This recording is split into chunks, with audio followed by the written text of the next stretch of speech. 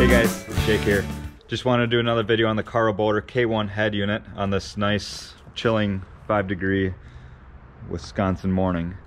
Um, I've had the head unit for approximately two or three months now and in those two or three months I found some pretty cool software features and I've also been able to address some of the issues that I've had and a lot of the issues that other people have had um, that were brought to my attention in the comment section of my last video as well as uh, my Instagram comment section. So we'll dive on in.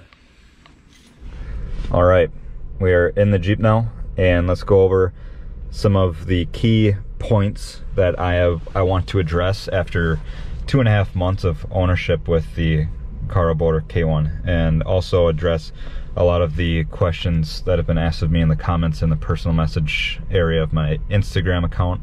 Um, the first one being is the Karo K1 waterproof slash heat proof. In other words, if you have the top off and it rains, will it be okay? And will direct sunlight beating on it all day ruin it?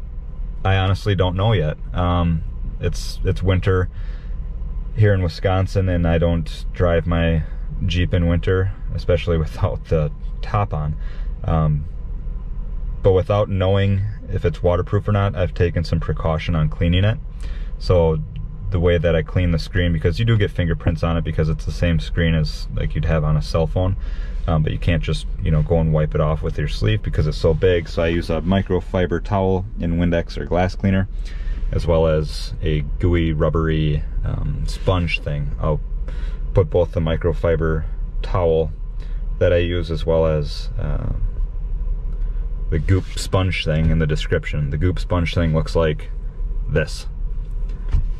And basically what I do with it is I just roll it between the buttons and into the cracks of the screen to get any dust or dirt that might get in there that you wouldn't be able to uh, you know get with just a towel so I'll have both those in the description. Check them out. They work really well for me. Hopefully they work well for you. Um, the cleaning goop thing works really well for all of my my controls and buttons and hard to re reach places that I normally couldn't get with, you know, a towel or a Q-tip.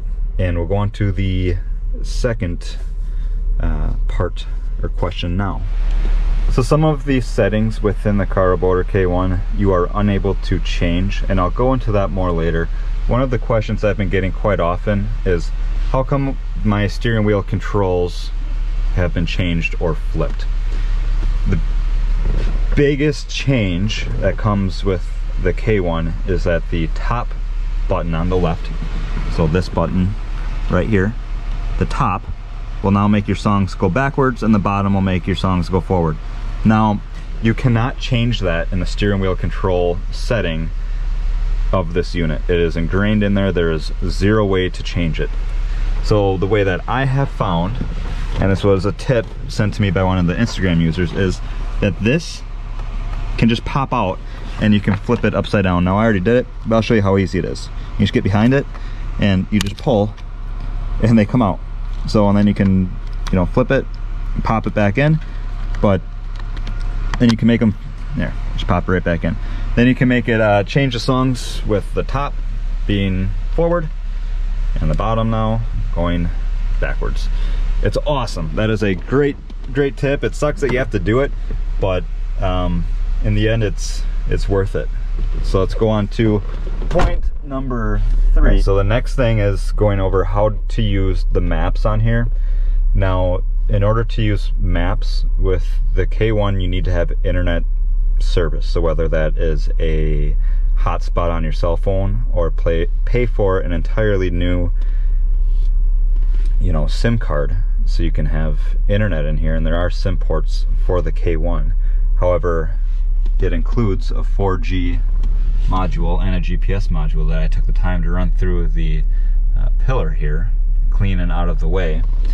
But I don't have internet so the maps do not work. So what you're going to want to do is go, or to get them to work without internet, is to go into the setup area and make sure while you're at your house you're connected to internet. So I'll come in here, yes I'm, I'm connected to internet.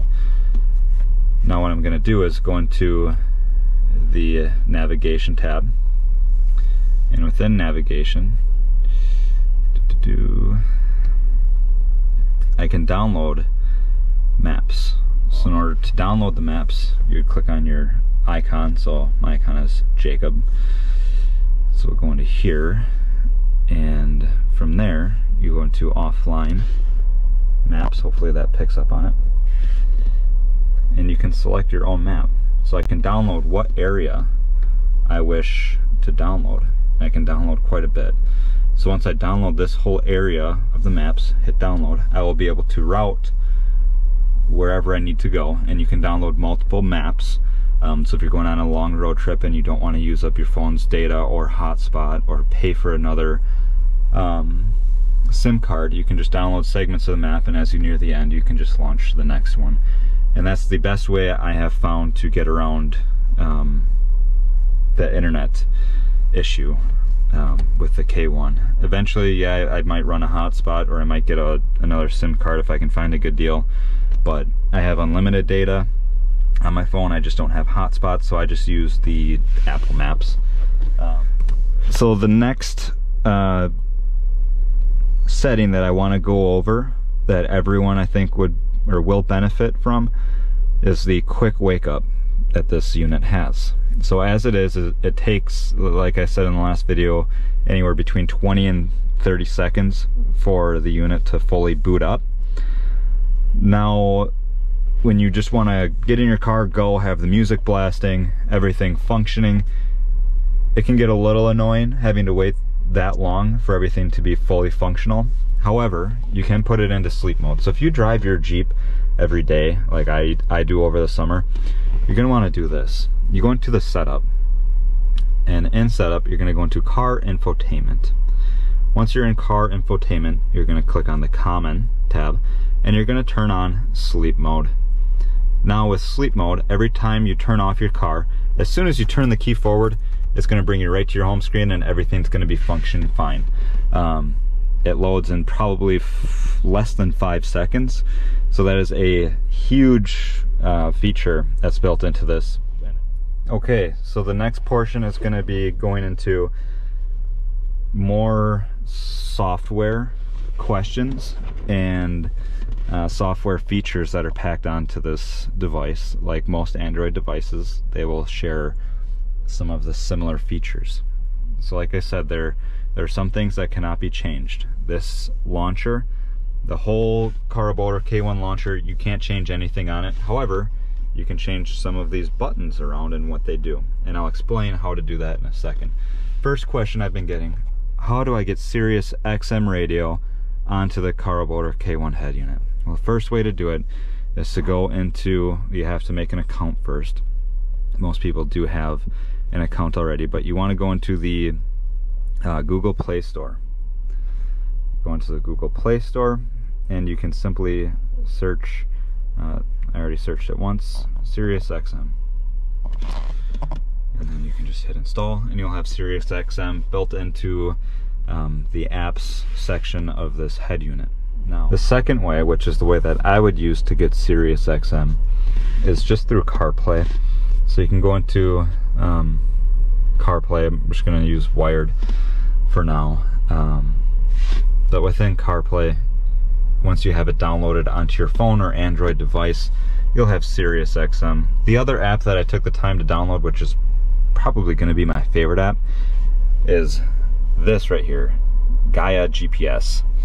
This has a bunch of off off-grid uh, 4x4 trails and maps on it, and it runs just off of uh, like Apple Maps. And the cool thing is, is once you find maps, so you here you can see there's the red are some hiking trails uh, near my house. But when you get into places you know that offer more off-grid uh, type of wheeling um, it has a lot of those maps already installed onto it. So that is a huge plus that I can access it from my head unit. And I no longer will have to have you know the head unit plus my cell phone plus an iPad doing everything that this thing can do on its own just so we'll go into the last two settings um, on this head unit that I think everyone should kind of be aware of. Like I said at the beginning of this video, the K1 head unit is an Android based unit. However, it's so much more capable than they advertised it to be. That being said, when you are in um, the settings and you go into car infotainment and you go to the about device, this is where I showed you in the last video where you type in the code 8878 and you hit OK. In playing with this and watching other people play with this head unit, there's so much going on in here that you can change and activate. So yes, it has RCA ports. You can run a full-blown um, custom system on it. I wasn't aware on how to exactly do that, but in speaking with others, I've learned how. Um, however, the cameras that this thing offers, it can run a full 360 camera, as you see right here. Oops. Um, so you can have a front camera going, you can have a rear camera going, you can have everything running on this head unit. Uh, it's it's actually insane to me how much this thing can do. Um, now, the things that it can't do, I know I sound like a broken record here, are change this screen. There's no way that I have found yet to change this screen. So to get around this, I've downloaded from yet another person who suggested I do this, another launcher. And that launcher is called Agama. And here it is. So this is Agama. Now, I'll go into this in a second. First, I want to show you how to download it. So you're going to go into Car Apps. From Car Apps, you will go over to Google Play Store. And in the Play Store, you will simply type in, let's get rid of that, Agama right there. A-G-A-M-A. Once you download this launcher, you can change it to be used in any of these buttons. So when my car turns on, it is still going to this uh, Carobotor K1 launcher. However, I spend most of my time in CarPlay. I am starting to utilize the Agama launcher.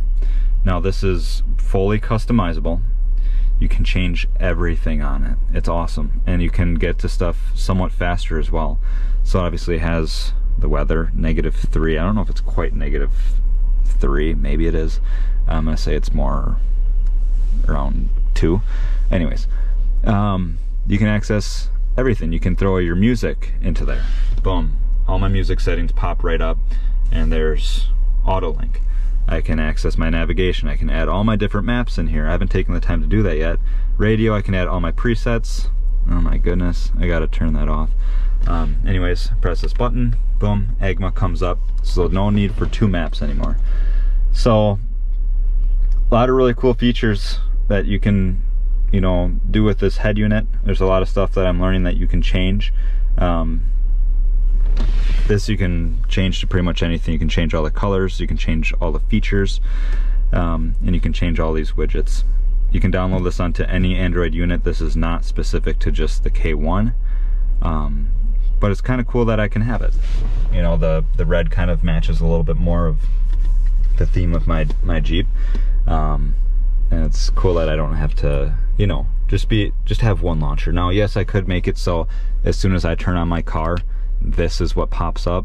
Um, I didn't do that, but maybe I will in the future. The future. But hopefully this helps you guys, and I've answered a few of the questions that y'all had. Um, let me know in the comments if you want to see anything else, or if I can address anything else for you guys. All right, take care.